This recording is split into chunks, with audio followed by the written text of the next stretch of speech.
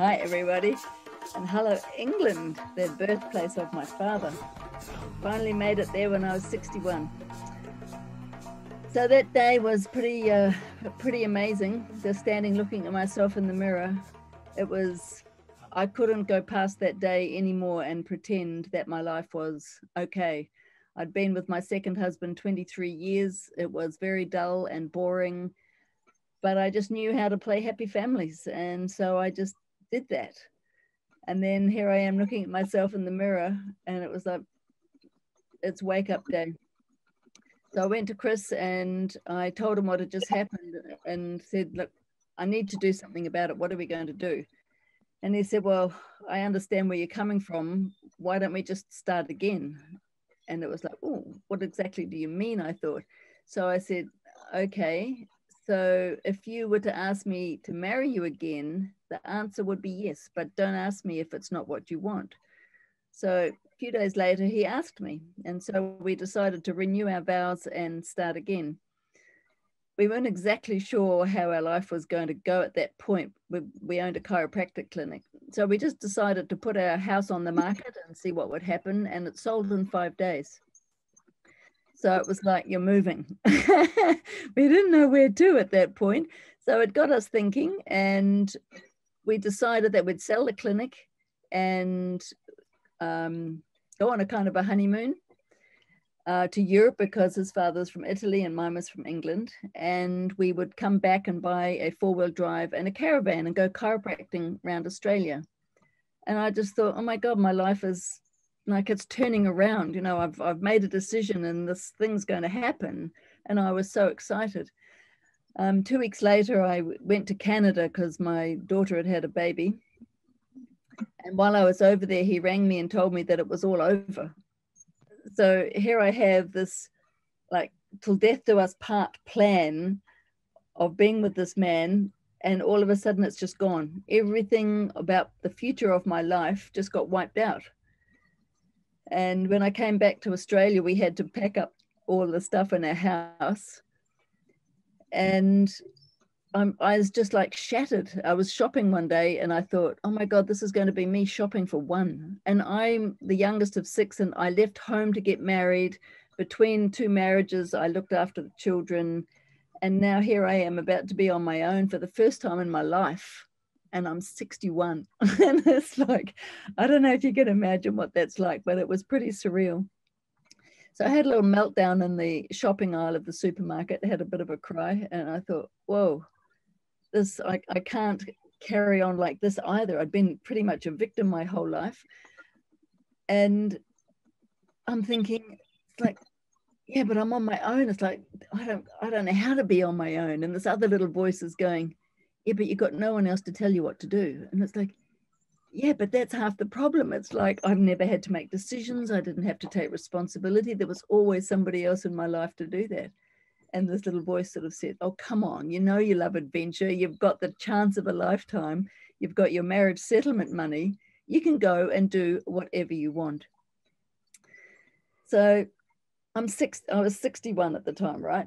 So I've spent my whole life being looked after by family, husband, and then another husband.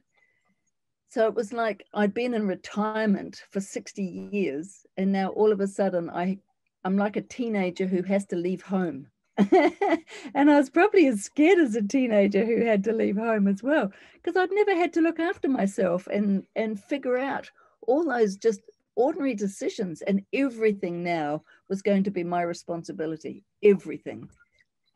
That's really frightening when you've never really done that. So anyway so i had some marriage settlement money quite a lot not a huge amount but enough. And i thought well what the heck am i going to do? So we'd booked this honeymoon this four months to europe and I just decided to go by myself. And I'd never traveled. I'd been to Canada and back, but that was just like a one off trip. But this was like my overseas experience that everyone else was having when they were like 20 in, in their 20s. So off I went. And it was just the most incredible experience of my life to go around Europe and England. My son was living in England, so I got to catch up with him. I got to go to Canada and catch up with my daughter but it, it was for people who like when you live down in Australia and New Zealand, it's a really long way to go up to the northern hemisphere, and we only have really English, and it's Australian English or New Zealand English, and you might go to Bali or Fiji or you know some little trip, but it's a major excursion to go up to Europe. So here I am living in in backpackers and getting around however. And I'm just kind of walking around with my mouth open, ogling at all these architectural masterpieces that I'd only ever seen in pictures or on the movies. So it was just a, a magnificent time for me. But at the end of that, I had to come back to Australia. And I don't know if you can imagine what that was like. I've just said I actually extended my trip to five months. And all of a sudden, I've got to come back to Australia and I've got no home, I've got no husband, I've got no job, and I've got no car.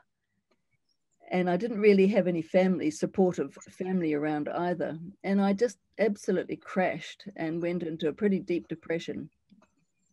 And I was lying on my bed one day and I thought, oh my God, what if this is the last day of my life?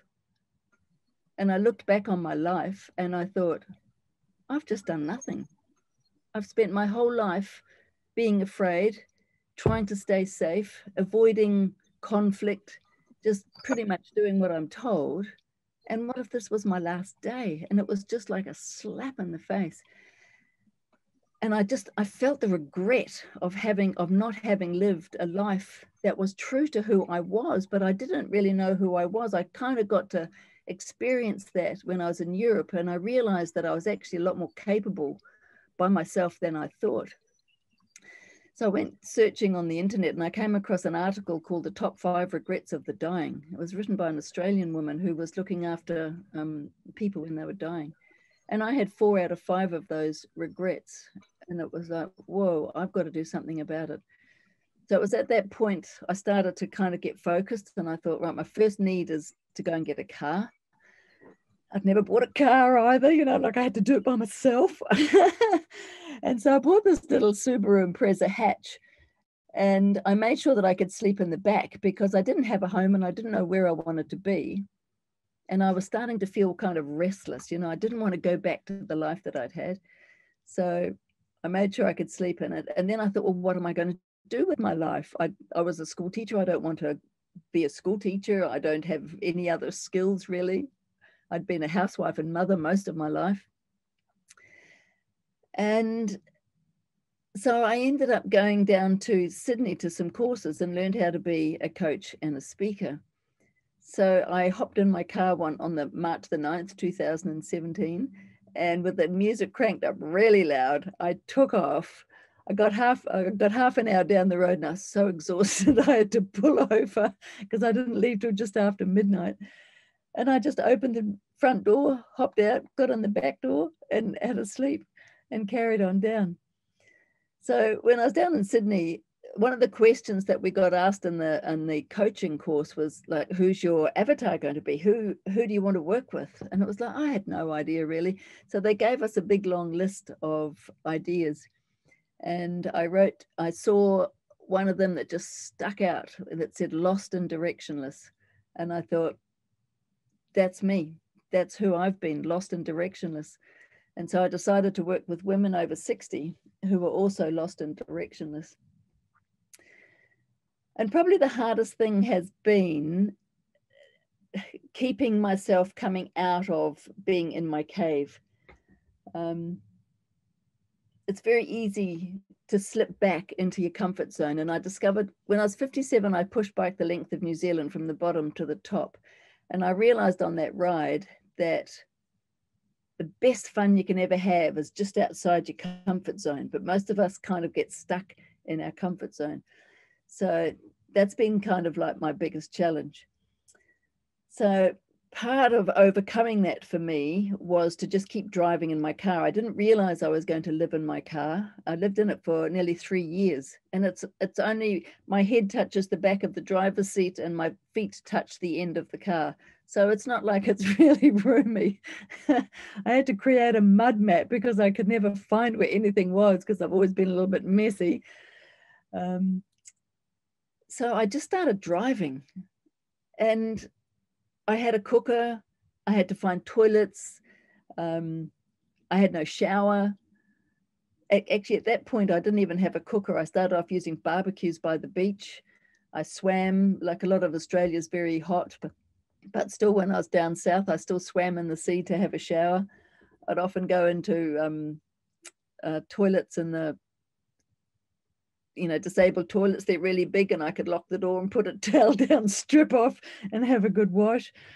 Um, I was even known to go into a caravan park and look and see if I could find the the um, the amenities, and they all had these little push button locks on, so I couldn't get in. So I was about to leave, and I saw a woman heading towards it, and I thought I'm going to follow her in. So she opened the door, and I just followed her, and I had no towel or anything with me. So I just stripped off in the shower, used my singlet to dry myself, put my clothes back on, and left. So I became very innovative. And probably one of the biggest things that I learned is how many signs there are out there just guiding us. And when you're busy and a bit depressed and you're pretending that everything's fantastic, you don't see those signs. But the more I traveled by myself, the more I just I woke up to all the different things that were going on around me. I'd turn the radio on and a song would play something and it would just crack me up. And then I got an opportunity to do a TED talk and I had to make it was a big decision because I'd never done anything like that stepping out. And the day that I made that decision to do that TED talk, I was kind of like a bit shaky and I had two computers and my phone and a fridge that I plugged into the um, into the cigarette lighter. So I went into this pub up in the north of Australia and asked if I could plug all my things in, and they said sure. And then I thought, damn it, I'm going to go and have a beer. It was like 11 o'clock in the morning, and um, so I went up to the bar, and can you believe it? There was a beer on tap called Ted, and I had never seen a Ted never seen or heard of Ted Beer. And I thought, yeah, now that's a sign. so I had a pint of Ted. And then the next day, I was at these markets, and this woman pulled up, this old woman, and she, she needed to go to the toilet. And she had a dog in the back of the car, and she was a bit concerned about her dog. And she just said to me, Look, would you mind just keeping an eye on my dog? And I said, Of course I will. I love animals. And I said, What's his name? And she said, Ted. it's like, oh my God, I just cracked up. And then the following week, I'd gone um, back down to Sydney and I was staying in a, in a um, youth hostel. And I was talking to my roommate, and we're just chatting about our lives and what we're doing. And hostels are amazing because people come from all over the world. And if, if I was in a hotel, it would just be me, but I'm in this youth hostel meeting people from everywhere. Like all through Europe, I stayed in youth hostels, but this one's in Sydney. And we got chatting. She said, she said, Oh my God, you should do a TED talk. And I was like, Okay, I'll do that. and I thought, okay, three signs, I'm on the right track. And those kind of things happened everywhere I went. And the other beautiful thing is, I learned that I was friendly and I never had been. People scared me. I didn't have a good time growing up. I couldn't look anybody in the eye. I was always feeling like I just was such a nobody that, that I don't know, there was just no presence about me. And then as I got hip, happier and more confident, I was looking everybody in the eye. I started smiling and and I needed to meet people. It's like, well, where do you go to meet people when you live in your car? And I didn't go to all the camping grounds. I would just pull up on the side of the road and hop in the back of my car and sleep. I could sleep anywhere because my car's so small, it never looked like a, anyone would be sleeping in it. And I started going to pubs because I love sport. So I'd go to a pub on the weekend and there'd be bands. So I'd get up and dance, and I'm the only old person dancing. Gradually, people would get up and dance, and, and the more alcohol people had, the freer they became. And I was there without any alcohol at all. And then I'd end up dancing with all these young people. And then some of these weird things started happening. I'd never had a good relationship with boys. You know, I was always too introverted, but I was sporty. So, you know, that was hanging out with sporty people was okay. And then all of a sudden, these young guys started coming up and talking to me and sometimes asking me to dance. And it wasn't like they were flirting, it wasn't anything like that. It was all of a sudden, I felt like I was just somebody who was open and free, and they just wanted to talk to me.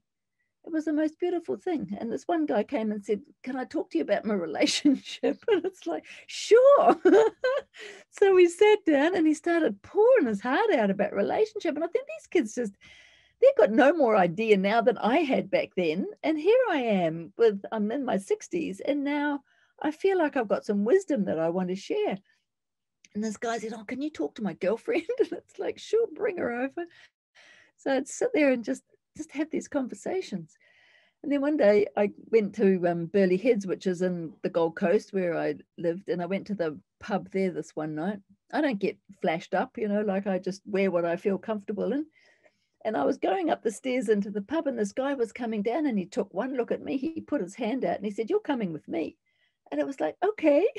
like I stopped saying no, or this is weird, or this isn't right here. I'm old, he's young. I just started to allow life to flow and unfold before me. And it's just been the most magical journey.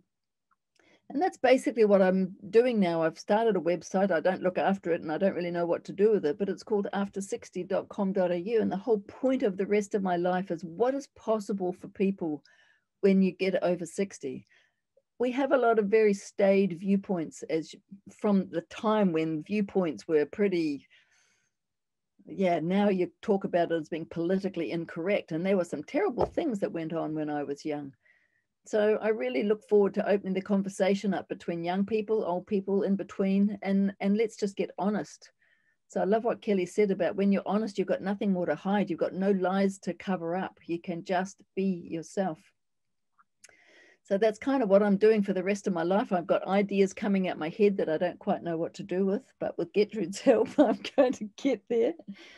Um, I'm going to be doing a workshop when they do the workshops in April, um, all about this.